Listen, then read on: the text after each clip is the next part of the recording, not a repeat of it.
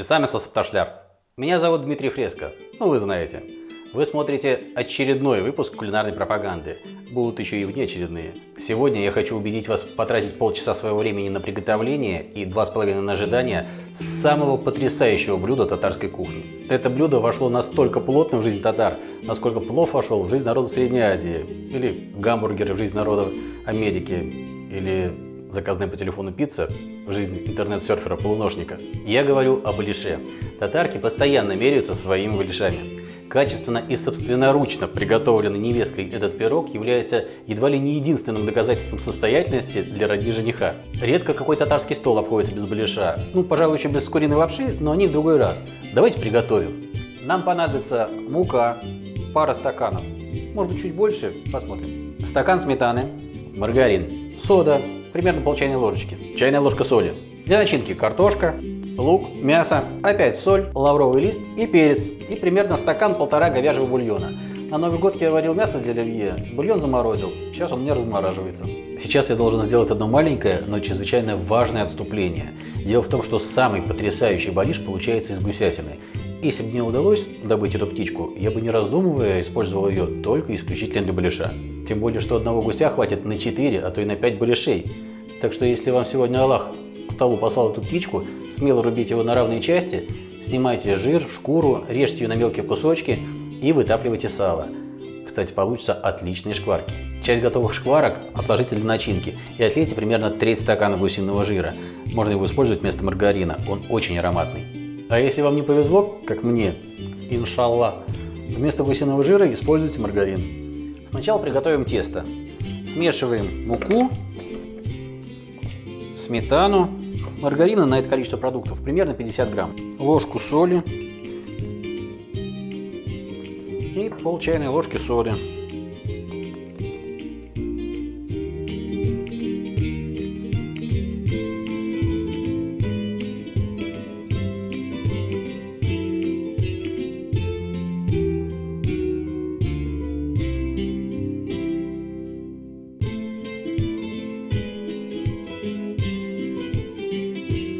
Тесто отлично вымесилось. Теперь нужно дать время, чтобы клейковина набухла, а тесто стало эластичным. Про клейковину смотрите в этом ролике.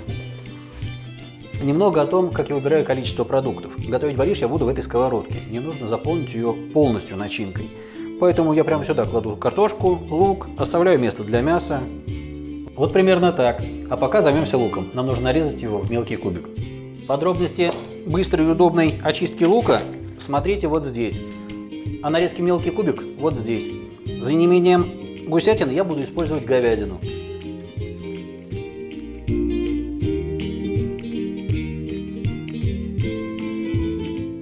Перекладываю ее к луку. Теперь добавим лавровый лист, соль и обязательно черный перец. А теперь все перемешаем. Нам нужно, чтобы мясо и лук пропитались ароматами перца и лаврового листа. Я частенько показываю способы быстрой обработки продуктов. Сегодня покажу способ очистки картошки.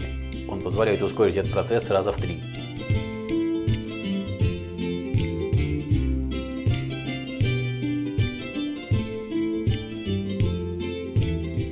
А теперь нарежем все мелкими кубиками. Тут лениться не надо. Идеальный размер картошки, на мой безусловно безупречный вкус, это вот такие кусочки. Смешиваем картошку с мясом и луком и начинаем сборку нашего балиша. Только сначала включим духовку. Сначала разделим тесто на две неравные части и раскатаем в блин ту, что побольше.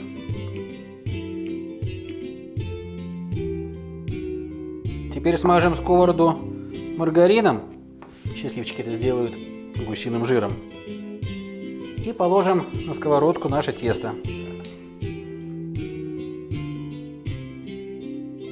Стараемся, чтобы пузырьков воздуха не осталось. Края теста должны свешиваться с краев сковороды. Тесто разложил, теперь выкладываем начинку. И раскатываем вторую часть.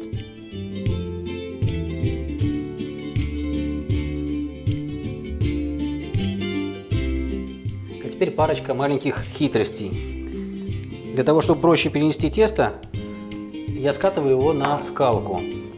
Можно слегка смочить края водой. или смазать разболтанным яйцом. Накрываем тестом начинку и скалкой убираем лишнее.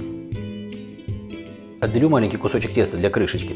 Осталось только зачипать края, но подсмотрел тут в интернете один из вариантов украшения балиша. Вживую таких балишей ни разу не видел, ну и сам, соответственно, не делал. Вот сейчас и попробую. Раскатаю остатки теста, вырежу круг по тарелке и сделаю вот такие надрезы. Момент очень ответственный. Делать это нужно очень и очень тщательно, иначе весь сок наружу потечет. Обычно это делает моя жена.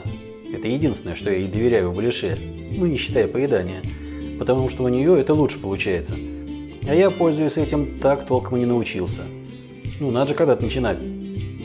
Вот он, какой красавец. Ставлю его в духовку.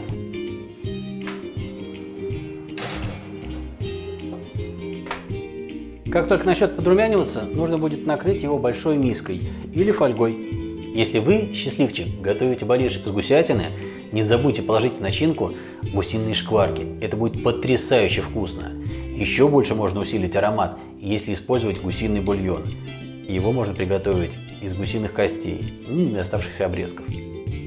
С тех пор, как я поставил балиш в духовку, прошел примерно час, и кухня стала заполняться потрясающим ароматом. Этот аромат не просто так. Этот аромат – сигнал для нас, что пора добавлять в балиш кипящий бульон. Делать это можно половником, но удобнее воспользоваться чайником.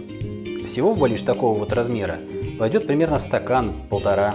И оставляем его в духовке. Всего он там должен будет простоять после добавления бульона примерно полтора-два часа. Это зависит и от температуры в духовке реальной, и от размера балиша. Готовность проверить очень просто – Открываем крышечку и вытаскиваем кусочек картошки. Если развалилось, разминается пальцами, все готово.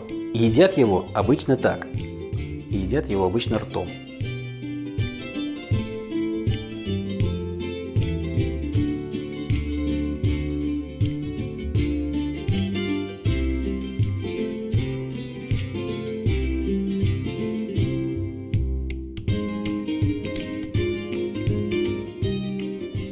Запах фантастический. Вкус еще более фантастический. Понимающие люди уже наверняка озаботились, чем наполнить рюмки. Друзья мои, отставьте их в сторону. Крепкий, горячий, ароматный черный чай. Вот что нужно этому пирогу. Как говорят у меня на родине, чай не пил, откуда силы? Чай попил, совсем ослаб. Вот и все на сегодня. Смелее приобщайтесь к национальной кухне ешьте вкуснее. Если понравилось, не поленитесь поставить палец вверх, подписывайтесь на канал, делайте репосты видео на свою стену ВКонтакте. До встречи через неделю. Рахмат и Саубул.